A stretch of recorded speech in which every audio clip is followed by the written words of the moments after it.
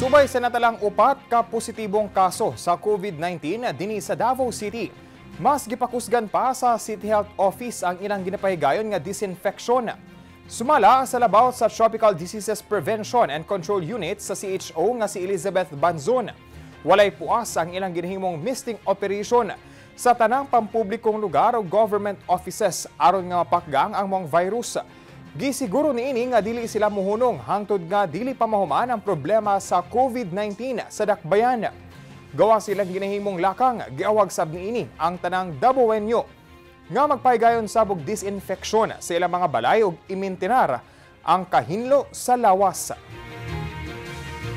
Karon nga natin nagpositive, mas pakusgan pag nato ang ato ang lakang sa pag-intensify sa ato ang kampanya. Muna tabang-tabang tatanan no. Tanan effort kay na kailangan jud nga buhaton. Pati ka mo nasa Banimalay gawa sa maglihok magampo ta. Pa follow lang ta, may mawala sa tuwa.